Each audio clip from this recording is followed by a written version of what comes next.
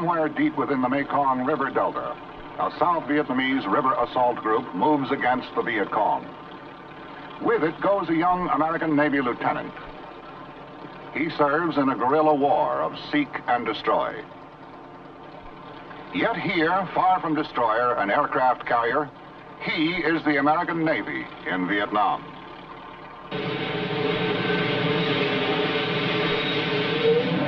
On Yankee Station, somewhere in the South China Sea, another more familiar view of the American Navy in Vietnam. The Mammoth Kitty Hawk, second largest of U.S. attack carriers, turns into the wind to launch its airborne striking force.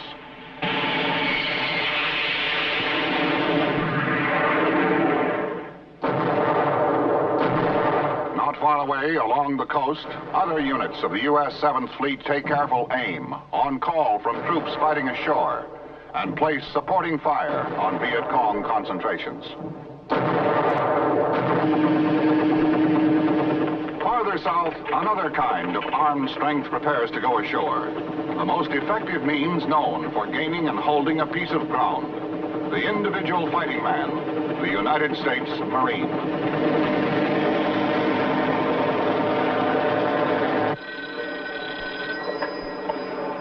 That's a pack billeting office. Uh, Alan speaking. Can I help you, sir? Inland at Saigon, a Navy chief works at a different kind of job. Less glamorous, but vitally important. Nichols, the assignment desk clerk will help you, sir. Behind the guns and planes and fighting men is a staff of Navy, Army, and Air Force personnel who administers support activities for Allied forces throughout the country. And your dates you in Vietnam, sir? 3 August. 3 August. Baby. East of Saigon, at a small village near the coast, these men have gone beyond their basic mission of military action to launch an equally important campaign of civic action, another side of the American Navy in Vietnam. To these men, their work on projects which will result in civic achievement is just as important as the work their shipmates do in more conventional naval surroundings.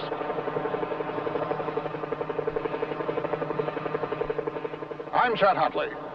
To most of us, this is the United States Navy. The aircraft carrier, the cruiser, and destroyer.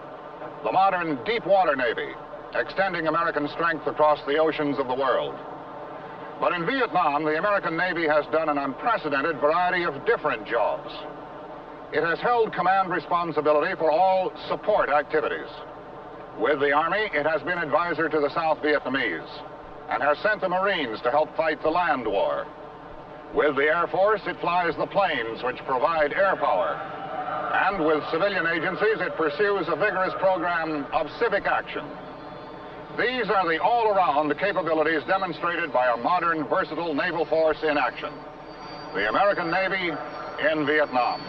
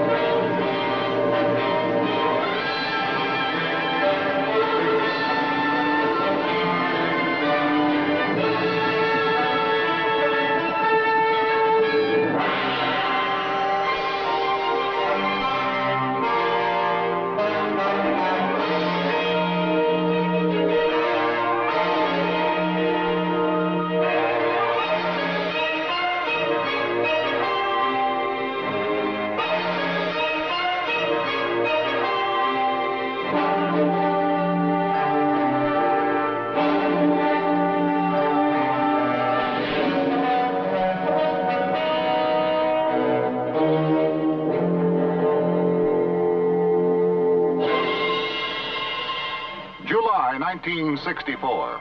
Off the coast of Vietnam, units of the United States 7th Fleet patrol the waters of the South China Sea. To help the people of South Vietnam defend themselves against the threat of an armed communist takeover, the United States and other countries have begun a flow of economic, technical, and financial aid. A joint civilian military effort to build a stronger nation. A small but dedicated South Vietnamese Navy is hard at work in an effort to deny the use of the rivers and coastal waters as supply routes for the Viet Cong. To bring knowledge of new techniques which can increase efficiency, a United States Military Assistance Command has been established. American Navy advisors work with the Vietnamese and help in many phases of training. HEADSUPACT, the United States Navy Headquarters Support Activity, has been established in Saigon. Already in mid-1964, the American Navy is in Vietnam. At the end of July 1964, the United States Military Assistance Command reports an increase in Viet Cong forces in South Vietnam. Then the Navy's role in Vietnam suddenly expands. On August 2nd, the United States Navy destroyer Maddox, on patrol in international waters of the Gulf of Tonkin, begins to track three unknown craft approaching from the northwest. They are identified as North Vietnamese PT boats, armed with torpedoes and 37 millimeter guns. When warnings from the Maddox fail to stop the oncoming PT boats, she opens fire.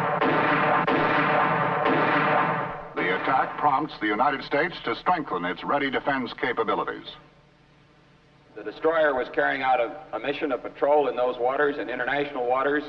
When it was attacked, it replied to the attack It continued to carry out its mission today and will do so the remainder of this week in the same waters. The President has asked that the destroyer force be doubled and that an air cap, a combat air patrol, be available at all times on call to it. And as I think you know, he's issued instructions that in the event of a further attack upon our vessels in international waters, we are to respond with the objective of destroying the attackers. The Maddox, joined by the destroyer C. Turner Joy, resumes its routine patrol. But the next night, the men on watch in the two destroyers once again detect unidentified contacts on radar. The attack by the North Vietnamese boats is renewed. After a three-hour running battle in which two of the PT boats are sunk, the attackers break contact. By the end of March 1965, air operations from Navy carriers in the South China Sea are underway on a daily basis. Also in March, in Operation Dagger Thrust, an integrated Navy Marine Corps effort, 7th Fleet Marines land at Da Nang, then at Chu Lai, and later on the Vung Mu Peninsula. Land, the Allied forces fight to turn the tide of conflict from a retreating defense against guerrilla attacks to an offensive strategy designed to defeat the Viet Cong. During 1965, the United States Navy, with its ability to move quickly on short notice, is called upon to reinforce the United States position. In the short time since the Tonkin Gulf incident, American naval power rapidly expands from a supporting role to a full-fledged naval task force. Embodied in the forces of the United States 7th Fleet is almost every facet of modern naval power. Cruisers like the USS Canberra are built for fast speeds and long endurance. The destroyer, indispensable to any naval action, is the workhorse of the fleet. The USS Bainbridge, a destroyer leader, is largest of the destroyer class, the world's first nuclear-powered guided missile frigate. Both cruisers and destroyers, in addition to their traditional deep water roles, have been called upon to play a special role in Vietnam. Delta, this is Gamma 26 Charlie. Target number 201, bearing 13. Whenever the need arises, ships of the 7th Fleet move quickly into position along the coast of Vietnam. Take their directions from a forward air controller or spotter who is in visual contact with the enemy. Fire for effect, over.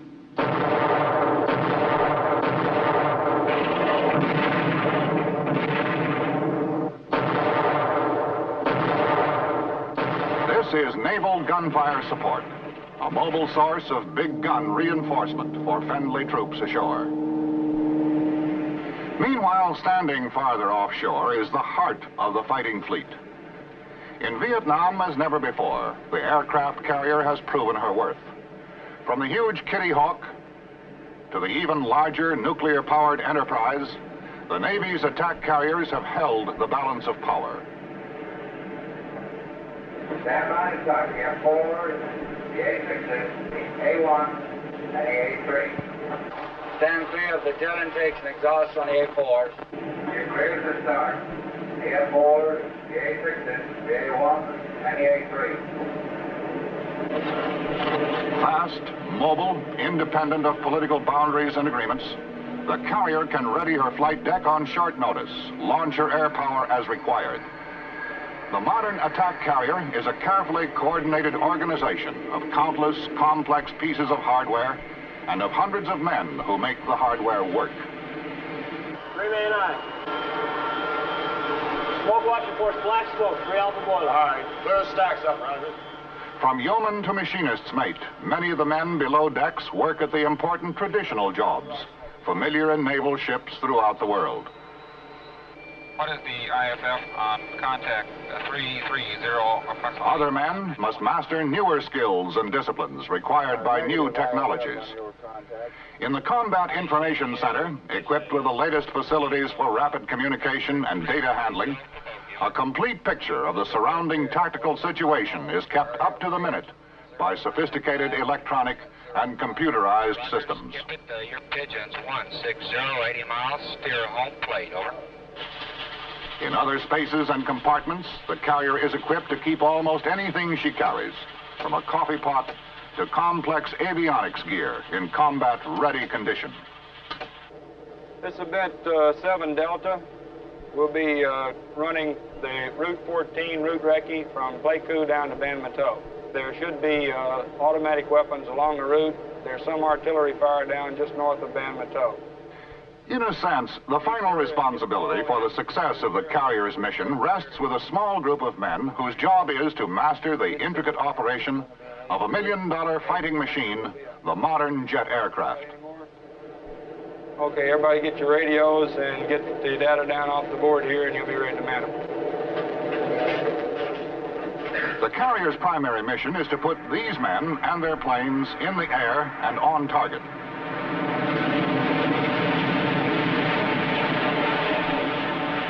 Mix of fighters, attack aircraft, and reconnaissance planes extends the carrier's strength for hundreds of miles.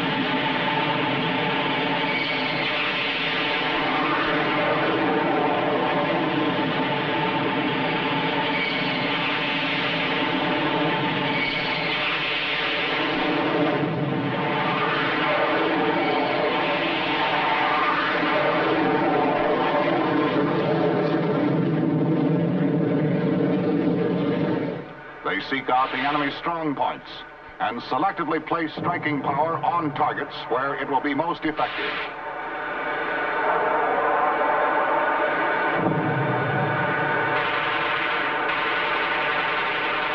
Enemy supply routes and storage depots, dams and airfields, barracks and troop concentrations. One of the best examples of the range and flexibility of naval power is the modern amphibious operation, a coordinated Navy Marine Corps action designed to bring force in readiness wherever it's needed, put it ashore, and hold a piece of ground. In the years since World War II, amphibious landing techniques have been refined, modernized, and speeded up. In Vietnam, amphibious assaults by forces of the United States 7th Fleet have driven the Viet Cong from many strongholds along the coast.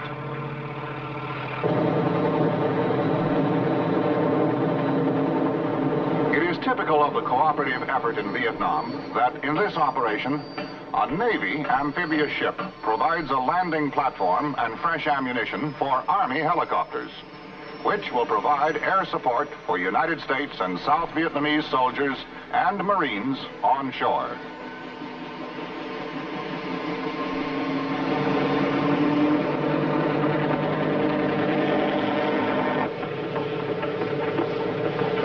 The newest concepts in strike warfare is built around the LPH, or Amphibious Assault Ship, a completely equipped floating helicopter base with complete facilities for the service and control of an airborne assault.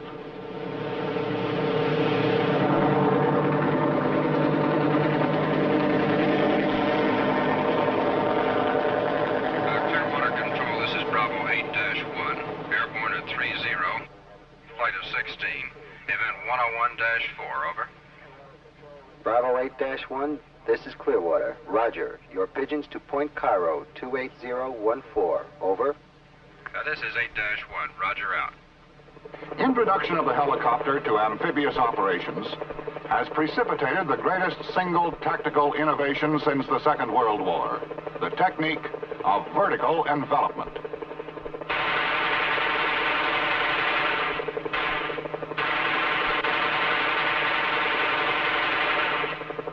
Marines are swiftly airlifted to land behind enemy positions, while the rest of the force assaults the beach. Completion of the mission is in the hands of the Fleet Marine, the Navy's most competent means of extending its power inland. It may be that the most unusual thing about the American Navy in Vietnam is the fact that it has played such an important role in Vietnam. The fact that the Navy, while it has carried out a wide range of assignments at sea, has also contributed heavily to the effort along the coast, in the rivers, and on shore. One of the most important jobs is the continuing patrol of Vietnamese coastal waters. Airborne patrols are flown day and night, around the clock, to ensure against infiltration of supplies and ammunition from the north. Clean cut. This is Bluebird 3-0. Uh, large cargo jump position X-ray Romeo 7386. Request surface units investigate. Bluebird 3-0, this is a Clean Cut, roger out. Suspicious contact report, sir? Very well, thank you. In Saigon, at the command center of U.S. Naval Forces, Vietnam, naval activities throughout the country are coordinated. Uh, Mr. Epling, uh, Bluebird 30 aircraft has a suspicious contact here in the restricted zone. He says it's a large... One of the major efforts of this command is Operation Market Time, the Navy's name for the important task of coastal surveillance. We have a destroyer and a WPB in the area. I recommend we send the destroyer down there to investigate this contact. In this case, a destroyer escort is assigned to examine a suspicious contact reported by Air Patrol. Hold it for a second, Miko. Vietnamese Navy liaison officers assigned to each American ship check identity papers and cargo manifests. To be certain that an innocent cargo of fish or rice does not conceal Viet Cong guns, supplies, and ammunition, holds are open and inspected. Each day brings thousands of fishing and cargo junks to the river and coastal waters of Vietnam. The enormous task of Operation Market Time is to guard against the use of this normal marketing activity as a cover for smuggling and infiltration by the Viet Cong. In addition to destroyers and minesweepers, market time patrols are conducted by high-speed patrol craft called swift boats and by cutters of the United States Coast Guard, whose crews are well experienced in this kind of work. One of the newest additions to the patrol efforts in Vietnam is the Navy's PBR. The PBR is a 31-foot plastic-hulled, water jet-propelled craft designed for high-speed operation in very shallow water. Quiet and highly maneuverable, it is used in Operation Game Warden, whose mission is to prohibit all Viet Cong movement in the Mekong River Delta. Patrols along the coast are coordinated with the Vietnamese Navy through its regional coastal surveillance centers, just as naval activities at all levels are coordinated between American and Vietnamese. Can Tho on the Bassac River is headquarters for Vietnamese River Assault Group 25.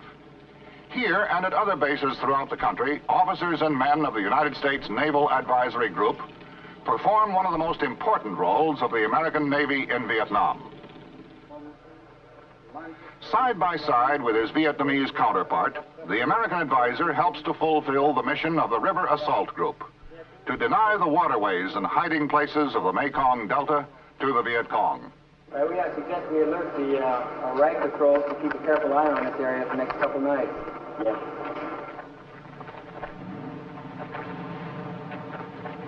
A typical operation begins shortly after midnight as troops load aboard the assault boats and start upriver.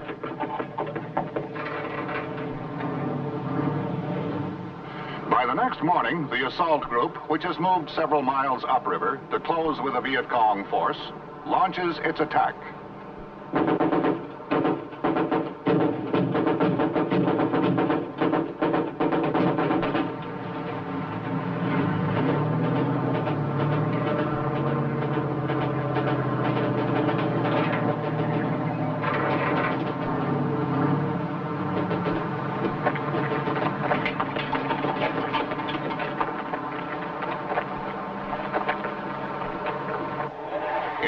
Of numbers, these men who ride the river assault boats are few. In terms of the overall Navy commitment, their contribution is great.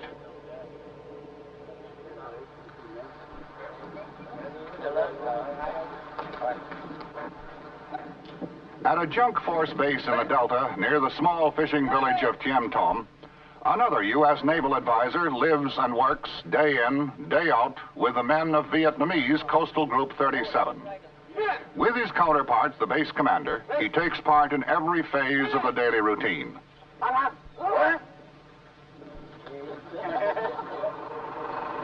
Papers all okay? Together, they carry out the daily patrols, constantly checking against the possible infiltration of Viet Cong supplies on the river waterways. Together, they share the meals prepared by the commander's wife. What are we having for dinner tonight? chicken, chicken. What's the Vietnamese name for this again? Chun Dê. Chun Ye? These ducks.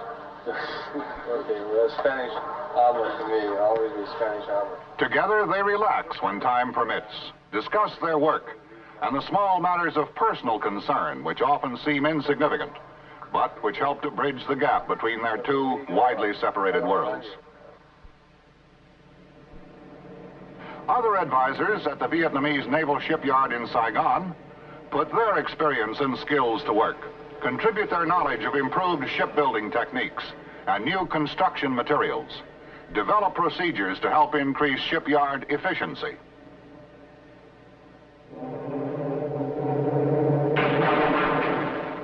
At Chu Lai and Da Nang, at Tay Ninh and Pleiku, from the Delta to the Central Highlands, the Seabees, naval construction experts, are at work on a wide variety of vital projects. Often working behind the scenes, the Seabees don't make headlines. But without the things they do make, the headlines might never appear. From airfields and roads to hospitals and storage depots, the Navy construction battalions move from project to project, pursuing the accomplishment of their CB motto, Can Do.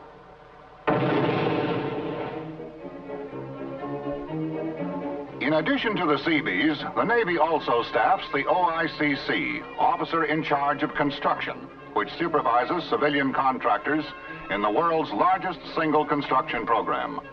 The OICC plans and builds military facilities throughout the country.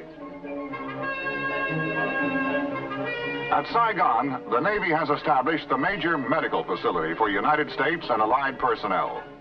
The quality of medical service in Vietnam has reduced mortality from battlefield casualties to an unprecedented low. By the end of 1965, HEAD SUPACT, the in-country support activity, has grown into the Navy's largest single overseas shore command. And by June 1966, when it has been officially turned over to the Army, it is serving as chauffeur, mechanic, administrator, electrician, doctor, and policeman. It is generating electric power, providing warehouse facilities, operating an airline, and performing other services for thousands of Allied personnel. To the north, at the port city of Da Nang, another United States naval support activity has been activated and is growing rapidly. These facilities, which will meet the demands of an expanded logistics support operation, include provisions for another large naval hospital. For the officers and men of the Navy and Marine Corps who serve on shore, the campaign in Vietnam is not only military in nature. CB technical assistance teams have helped with scores of civilian projects which will improve conditions for the South Vietnamese people. roads, bridges, buildings, security hamlets to provide safety from Viet Cong terrorism. Clinics conducted by Navy doctors, dentists, and corpsmen have brought medical treatment and supplies to areas where they might otherwise never have been. Through people-to-people projects of many kinds, these men are working to win the confidence and restore the hopes of the Vietnamese through joint civilian military action. This, too, is the American Navy in Vietnam. In terms of the variety and scope of the experience, Vietnam has already written a new chapter in the annals of naval history. Never before has the potential of the Navy Marine team been so fully realized. And yet, one important thing remains unchanged. The success of the overall effort will rely, as it always has, upon the acts of the individual man.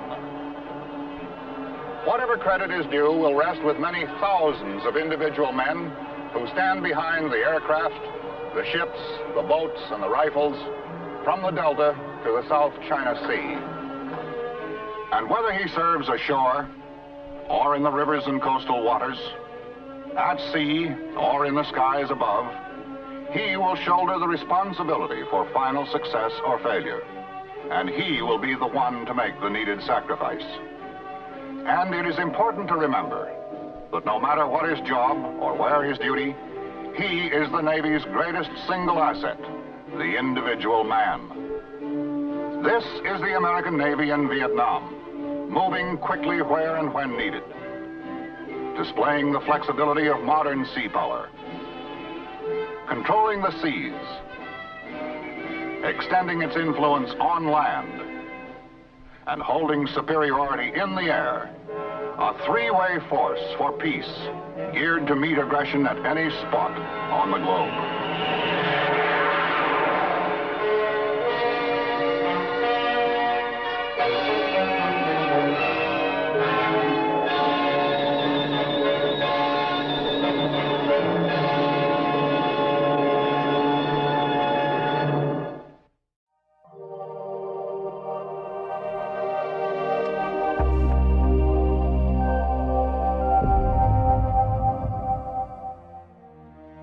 Thanks for watching. If you'd like to help us produce more compelling historical content like this, please like, comment below, and share this video with fellow history buffs. And of course, be sure to subscribe to help keep history happening.